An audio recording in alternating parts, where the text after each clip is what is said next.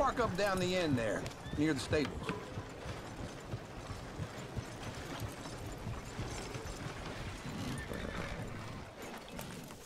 All right. Here we are, just like I said. The cultural center of civilization. Man at his finest. Uncle, what are we doing? Well, we're gonna do what any self-respecting maniac does. Put the women to work. With pleasure. We'll start at the saloon. Okay, just stay out of trouble and don't get yourselves noticed.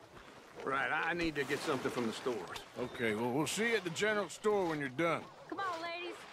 Imagine we're in Paris. Come on. Paris So that's how you see yourself, is it? A maniac? Well, in my youth, I used to be known as the one-shot kid. Okay.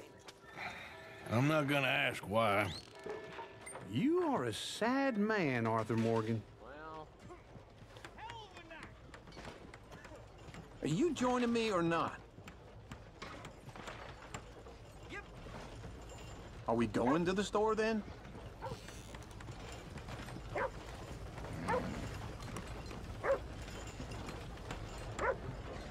Arthur, come on.